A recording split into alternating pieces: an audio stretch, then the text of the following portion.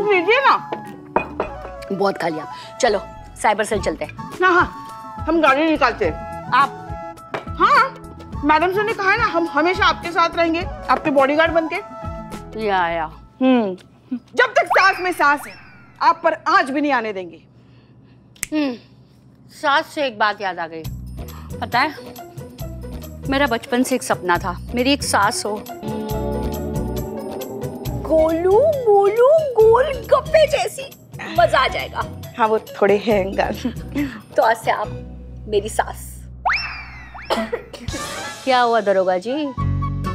सांस अटक गया मैडम का। शादी में मुझे कोई इंटरेस्ट नहीं है लेकिन सास सास हो तो ऐसी है ना? वैसे आपको देख के लगता है आपका लड़का बड़ा हैंडसम होगा हाँ? बहुत बहुत हमारा लल्ला जो है ना बहुत सुंदर बहुत हैंडसम है। थोड़े और दिन रुकता ना उसे बहुत अच्छी लड़की मिल सकती थी। अच्छी मतलब? अच्छी। इसीलिए हम हमेशा कहते हमारे गरीब बेचारे भोले मासूम लल्ला के तो भाग्य ही फूट फूट गए। फूट के बिखर भी गए अब तो। आपके लल्ला से भी मिल लेंगे कभी। तो करिश्मा सिंह की सास हम सबकी सास। तो आज से आप हमारी सास हाँ। वैसे है थोड़ा दूर दूर से। मगर ठीक है हम आपकी सास हुई। हुई? हाँ हुई हुई। तो चले सासू माँ। मैया हमारी चुड़ैल. हमारी बहुरानी हमें सासू मैया बुलाती है। तो चले सासू मैया। हाँ हाँ। चलो। ठीक कर रहे थे वो। जैन मैडम साहब जय हिंद। भगवान आपकी दोस्त की रक्षा करे। हमें एक ज़रूरी काम है हम वो निपटा कर आते हैं। जय Hind. Madam sir madam sir madam sir madam sir. ये देखिए। का है का है? चीता भाई क्या है ना थाने के बाहर कुछ छोड़ के चला गया था। तो हमने संभाल के रखा थाने की अमानत कहीं चोरी ना हो जाए। बस रे छिला हुआ कब्र बिज्जू हैं? थाना का अमानत चुराने का हिम्मत की सूरमा का हो गया। और तुम तभी इसको लेकर क्यों नहीं आया जब तुमको मिला था ही? चीता भाई हम काम धंधे वाले लोग हैं हमें काम करना होता है। ये लो। हो गया हो तो खोलो इसे अब। रुको रुको रुको। ये क्या कर रहे हो बिल्लू? हो गया। तुम्हारी मैया को नमन ही का कर दिया रे उबला सियार। इट्स डिफ्यूज बॉम्ब भी हो सकता है ना? ये खोपड़ी के अंदर अकल है कि नहीं कि भगवान ऐसे ही पलाट काट के ज़मीन पर भेज दिया है तुमको? इट्स अ डिफ्यूज बॉम्ब होगा तो। खोलो इसे। और ये सफ़ाई तुम करने वाले हो बिल्लू। ओछा। हाँ। अच्छा ओछा काम मुझसे ही करवाओ।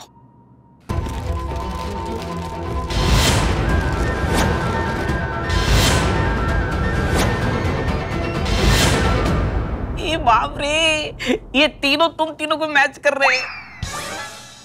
बस रे बानर।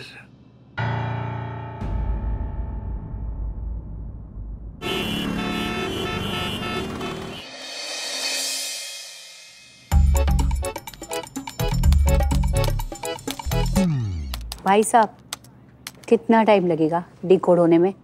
आप एक काम कीजिए ये फॉर्म भर दीजिए। जहाँ जहाँ मार्क किया है ना वहाँ साइन कर दीजिए। टेक्नीशियन असाइन होगा ये कोई दस पंद्रह दिन में हो जाएगा। दस पंद्रह दिन में? जी। बहुत जल्दी काम होता है यहाँ पर। बस मैम हम तो कोशिश करते हैं। सरकारी काम है मैडम थोड़ा समय तो लगेगा। सरकारी काम? अरे गलती कर दी। मोंटी मोंटी कैसे दिमाग से निकल गया? वो बहुत एक्सपर्ट है। ऐसे काम वो दो घंटे में कर देता। ओ, ओ लेकिन क्या हुआ? रुक क्यों गई? बुलाइए। बात ऊपर तक जाएगी। आईजी तक जाएगी। पंद्रह दिन का काम दो घंटे में कैसे हो गया? इसकी बेचारे की नौकरी जा सकती है। अच्छा इसकी नौकरी वैसे हमें क्या? अपने काम से मतलब है। हाँ है ना? हाँ। अरे मैडम क्या कर रही हैं आप? आपको पहले बताना चाहिए था आपको डाटा चाहिए जल्दी चाहिए। मैं आपको दो घंटे में निकाल कर देता हूँ। दो घंटे में नहीं बल्कि डेढ़ घंटे में निकाल कर देता हूँ। हाँ? हम बैठे किस लिए? लोगों की सेवा के लिए तो बैठे हैं ना। आप एक काम कीजिए वहाँ जाके चाय या कॉफ़ी भी के आइए। देखते ही समझ गई थी। तुम बहुत टैलेंटेड हो। शक्ल पे लिखा है। थैंक यू थैंक यू डेढ़ घंटे में हो जाएगा? हाँ हाँ। अरे क्या हाँ हाँ हाँ जाइए। डेढ़ घंटा है। आपके पास जाइए जाइए काम कीजिए। चलो तब तक चाय पी के आते हैं। हाँ जी। मैडम मैडम एक बात बताइए। ये मोंटी कौन है? हमें भी नंबर दीजिए ना उसका शायद हमें भी ज़रूरत पड़ी उसकी। कर्ज फ़िल्म देखी? उसमें लेट ऋषि कपूर जी का नाम मोंटी था। मतलब ऐसा नाम का आदमी कोई है ही नहीं। ऐसे किसी का भी नाम लेकर आपने काम निकलवाया। आ, आ, आ, उधर से जाओ। उधर से जाओ। देखा? परिंदा भी पर नहीं मार सकता। Madam sir hello hello Naina तुमने कुछ भेजा था क्या? हाँ मैंने वो मेन्यू भेजा है। खाना क्या ऑर्डर करना है देख लेना। नहीं उसकी बात नहीं कर रहे हैं कुछ और। कुछ और क्या? कोई गिफ्ट गिफ्ट वुडन स्टैचूज हैं गांधी जी के तीन फ़ेमस बंदर। बुरा मत देखो बुरा मत कहो बुरा मत सुनो। हसीन तुम्हें लगता है ये मेरा स्टाइल है? मैं ऐसा कुछ भेजूँगी। चेरी च- तू वो टेडी बेयर वाली थ्रेड भूल गई? हाँ और वैसे भी उसको कुछ भेजना होता तो वो मुझे भेजता। तुम्हें क्यों भेजता? हाँ? हाँ ये बात भी है। आलू चट खाएँगे? नहीं। अरे तुमसे नहीं पूछ रही हूँ। सासू मैया से पूछ रही हूँ। चल चल मैं रखती हूँ। बाय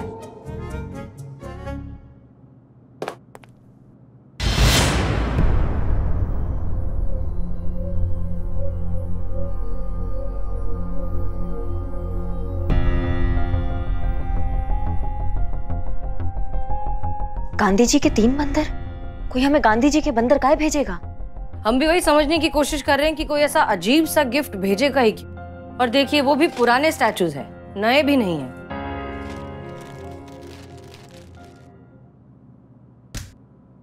मैडम सर और आप ये गिफ्ट पेपर देख रही हैं? इसको देख के ऐसा लग रहा है कि ये फिर से इस्तेमाल किया हुआ है। ये तो मैडम सर कोई अपने साइकिल के पीछे कैरियर पर रख के लाया है। ठीक है पता लगाइए कौन शख्स है किसने भेजा ये? देखिए तो उसकी मंशा क्या है ऐसे अजीब से गिफ्ट के पीछे। पता चल जाएगा मैडम सर ऐसा हो नहीं सकता कि मार्केट में किसी ने एक साइकिल वाले को जो अपने पीछे गिफ्ट बॉक्स रख के लाया हो उसको देखा ना हो। एक बार उसका हुलिया पता चल जाए फिर उसको बिगाड़ने में हम ज़्यादा देर नहीं लगाएँगे। जय मैडम सर। जय।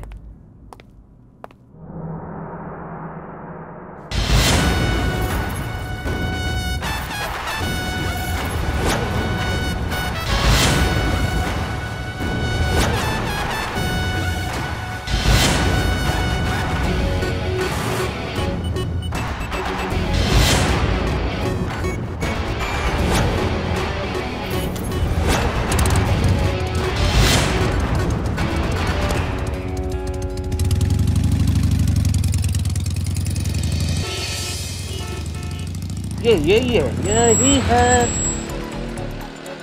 ओ भाई साहब। कमलेश कबाड़ी वाला। कहीं क्या चाहिए आपको? नाम का है। जानू। का बोले? अरे मैडम मार कहा रही है? मार कह रही मैडम को मैडम को जानू आपको जानू आप जानू जानू क्या जानू बात कर रहे हैं ना? हाँ हाँ आपको जानू बोल रहा मैडम हमारा नाम ही है जानू। है? सब लोग हमें जानू कबाड़ी वाली बुलाते हैं। कबाड़ बेचते हो ना? तो जानू क्यों? जूना रखो। आज से तुम्हारा नाम जूना। तुम वो दिखाओ। हाँ हाँ। फ़ोटो दिखाओ। ये देखो ए जूना देख। ये तुमने भेजा था थाने? आप सब जाइए अपना काम कीजिए ना। हम्म? अ, हम काहे भेजेंगे मैडम? हैं? इसने नहीं भेजा? जिसके पीछे पड़ जाए उसके मुँह से निकले। Hi hi I am Billu the spy मुँह पे झूठ कैसे बर्दाश्त कर पाए? हमने पता लगा लिया है। सुबह सुबह अंधेरे मुँह सीधे मुँह उठा के आप साइकिल के पीछे गिफ्ट बॉक्स रखकर सीधे मुँह थाने की ओर चल दिए और थाने में गिफ्ट बॉक्स रखकर बाएँ मुँह चल दिए। हैं? मुँह खोलो मुँह सच के लिए मुँह खोलो। हम्म, मैडम इसके मुँह लगने से कोई फ़ायदा नहीं ये मुँह नहीं खोलेगा। जब तक इसका मुँह नहीं टूटेगा तोड़ो इसका मुँह तोड़ो। अब सच बता रहे हो या उगलवाए तुमसे? सच बोलो। मैडम क्यों फंसा रही है? कबाड़ बेचता हूँ मैडम।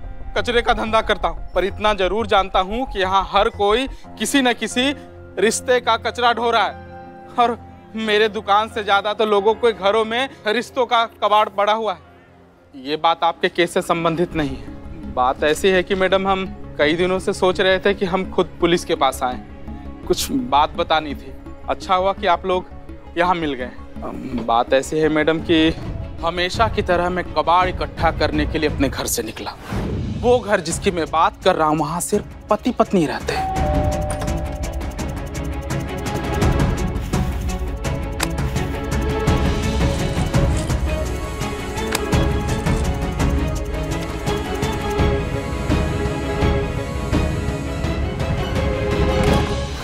कहानी में सस्पेंस था नहीं फिर भी क्रिएट कर दिए सस्पेंस। अरे चश्मा पहनकर कोई कचरा डाले तो प्रॉब्लम क्या है? क्या साहब? इतनी सुबह सुबह काला चश्मा लगा के कौन रहता है घर में? तो तुमको क्या लगता है काहे पहना था उसने काला चश्मा घर पे? अ, ऐसा तो तभी होता है जब किसी ने रात भर दबा के दारू पी हो। या तो रात भर वो सोया नहीं हो और आँखें कुत्ते की तरह बाहर आ गई हो। या फिर या फिर? या फिर कोई अपनी रूह पे लगे जख्म को छुपाना चाहता हो। तुम बार बार गुलजार साहब के नाम का बत्ती सुलगाना ना हमको बंद कर दो। सीधी भाषा में बात कर सकते हो तो सीधी भाषा में बात करो। अब दारू तो उनके घर पे आती नहीं ये बात पता है मुझे। दारू? अच्छा फ्रीज तक पहुँचे हो फ्रीज तक। बिल्ले और रात भर जागने का तो सवाल नहीं उठता क्योंकि पूरा मोहल्ला दस बजे तक सो जाता। अच्छा बेड तक पहुंचो हो बेड तक? बिल्ले इसलिए मैंने अपने तरीके से पता लगाने की कोशिश की। एक बार कबाड़ लेने के बाद मैं चुपके से उनकी खिड़की के पास ही खड़ा रहा। वो औरत ज़ोर ज़ोर से सिसकियाँ लेके रो रही थी। मैडम वो औरत ज़रूर किसी मुसीबत में है। इसलिए मैंने उसकी गुहार मूर्ति की शक्ल में आप लोगों तक पहुँचा दी। मैडम आप कुछ कीजिए ना। उस औरत की मदद कीजिए मैडम। क्या पता बताया तुमने उनका? यशोदा अपार्टमेंट फ्लैट नंबर छः गोमती नगर।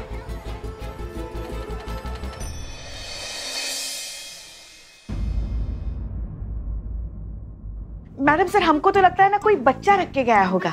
अगर आज हमारे लल्ला के लल्ला या लल्ली होते ना तो हम उनको ऐसे ही खिलौने देते।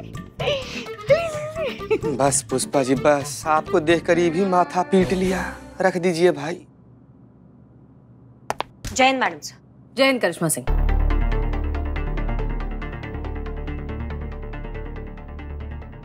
क्या बात है करिश्मा सिंह? आप बहुत उखड़ी हुई लग रही हैं। सब ठीक है? कब ठीक रहता है मैडम सर? जी मैडम सर सही कहा आपने। थोड़ा उखड़े हुए हैं हम। उखड़े हुए हैं हम ऐसी औरतों पे जो बंद दरवाजे में सब कुछ सहती रहती है लेकिन उसके खिलाफ कभी ना आवाज़ उठाती है ना कुछ कर पाती है क्योंकि उनमें हिम्मत ही नहीं होती है।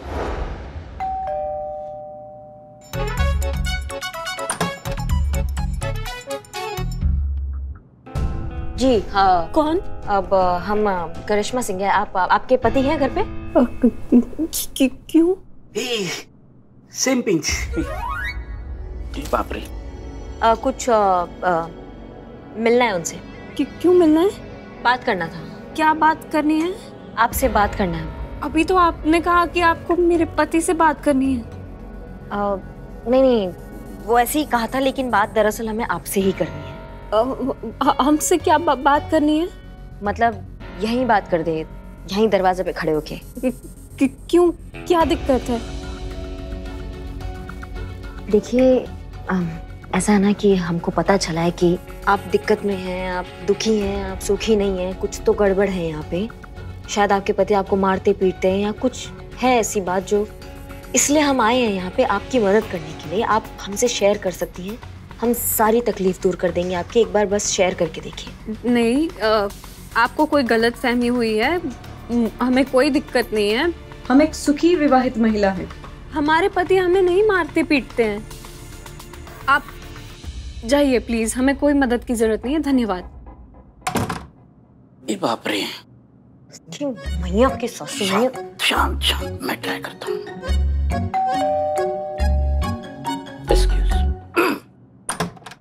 एक्सक्यूज मी बहन जी बहन जी। बहन जी मेरी बात सुनिए प्लीज़ प्लीज़ ध्यान से सुनिए। हम महिला पुलिस थाने से है। मतलब ये महिला पुलिस थाने से है मैं इनके सपोर्ट में आया हुआ हूँ। देखिए आपको जो भी प्रॉब्लम है दिक्कत है हमें बता दीजिए। देखिए आप जाइए यहाँ से वरना मैं पुलिस को बुलाऊँगी। पुलिस को बुलाओगे? पुलिस तो आपके सामने है। मतलब जब भी आप पुलिस को बुलाओगे आप इन्हीं को पाओगे। क्या सुखी वैवाहिक महिला? है क्या हमें?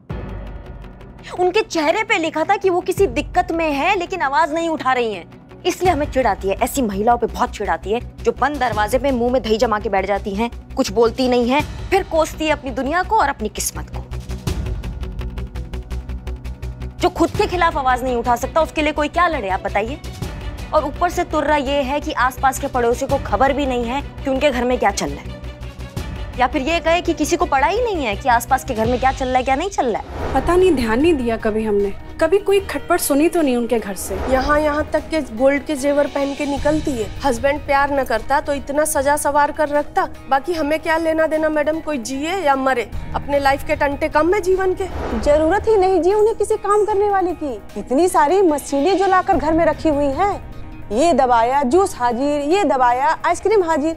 मतलब जो चाहिए एक बटन पे हाजिर। महारानियों वाली ज़िंदगी जी रही है अपनी बरखा बीबी। ऐसा नसीब ऊपर वाला सबको दे। ओह माय गॉड तो मेड फॉर ईच बर्तन। A each other. क्या हो गया है? क्या हो गया है इस दुनिया को? लोग इतने सेल्फिश और इतने इनसेंसिटिव क्यों हो गए? किसी और के दुख दर्द की किसी को परवाह ही नहीं है। अगर इसी तरह का हमें क्या पड़ी है एटीट्यूड चलता रहा तो धीरे धीरे तो इस दुनिया में से इंसानियत ही खत्म हो जाएगी। कौन उड़ता तीर अपनी तरफ़ लेता है आज की दुनिया में, डार्लिंग? सब अपनी दुनिया में मगन हैं।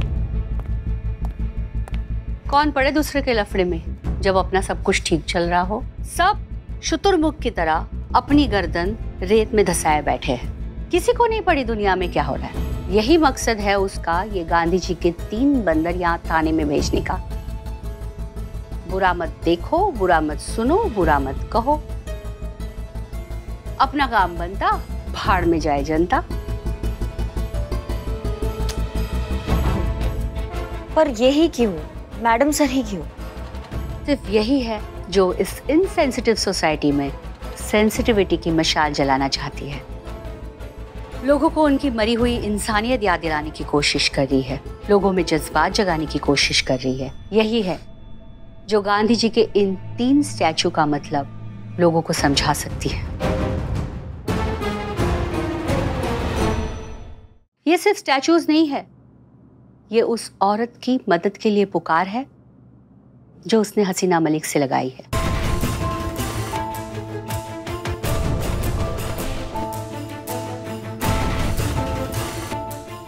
कोई फ़र्क नहीं पड़ता करिश्मा सिंह, कि वो अपनी तकलीफ़ बता पाई या नहीं। कोई फ़र्क नहीं पड़ता कि उसने कंप्लेन की या नहीं। वो अकेली है और अकेली ये सब सह रही है। और अब हम ये होने नहीं देंगे। वो अब तक अकेले जो सह रही थी, अब नहीं सहेगी।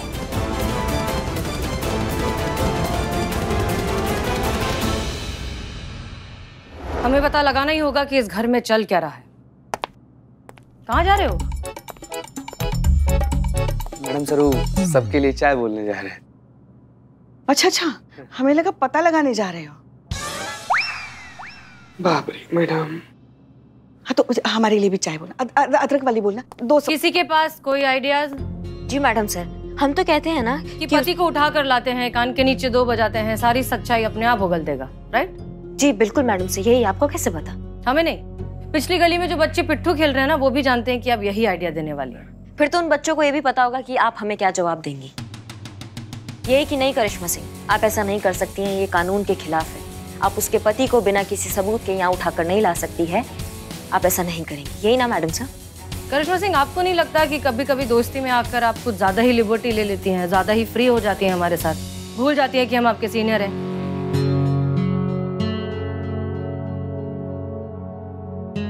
सॉरी मैडम सर रिलैक्स हम मज़ाक कर रहे हैं। हैं। हमें लगा आप वैसे मेरे पास एक आइडिया है। इजाज़त हो तो पेश करूँ? नहीं। आइडिया ये है कि मैं ये कहना चाहती हूँ कि हम उस लड़की के घर पे एक कैमरा फिट कर दे तो पता चल जाएगा उस लड़की के साथ घर में हो क्या रहा है। एक मिनट मैडम सर। अगर हमारा उसके पति को लपड़ लगाकर यहाँ लाना गैर कानूनी है तो फिर ऐसे किसी की निजता को भेदना, अंग्रेज़ी में जिसे ब्रिज ऑफ़ प्राइवेसी कहते हैं, ये गैर कानूनी गतिविधियों की श्रेणी में नहीं आता मैडम सर वाह, दरोगा जी, वाह। क्या पॉइंट है? बात तो बिल्कुल सही कही दरोगा जी। पॉइंट है। लेकिन जहाँ कैमरा लगाकर बात बनती है, वहाँ पे खामखा तंदूर क्यों लगाना? कानून के पचड़े में क्यों पड़ना? कल को पति निर्दोष निकला तो लेने के देने पड़ सकते हैं। कैमरा अगर पकड़ा गया तो हमारे खिलाफ गवाही कौन देगा? और हमारी प्रायोरिटी ये है कि लड़की के साथ घर में क्या हो रहा है। ये हमें पता चल जाएगा। मेरे ख्याल से यही सेफ़ है। पॉइंट तो सही है तुम्हारा। ऑलवेज फिर अब हिडन कैमरा लगाएँगे। और अगर कोई ये काम बहुत अच्छे से कर सकता है तो वो है समझ गए हो जाएगा। गुड स्मार्ट है तेरी जूनियर गुड जॉब दरोगा जी.